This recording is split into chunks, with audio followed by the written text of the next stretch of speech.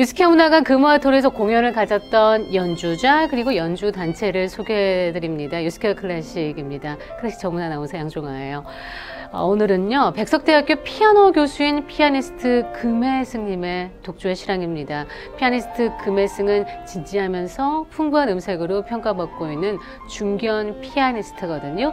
독일에서 공부를 했고 또 미주와 유럽에서 다양하게 순회 독주회를 가지면서 현지 언론의 호평을 받고 있는 뛰어난 연주자입니다.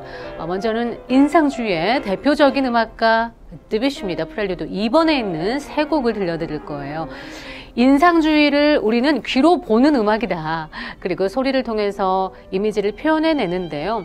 이 화면 아래쪽에 제목이 있거든요. 이 제목을 인지하면서 들으면 훨씬 들으실 때 도움이 되실 거예요.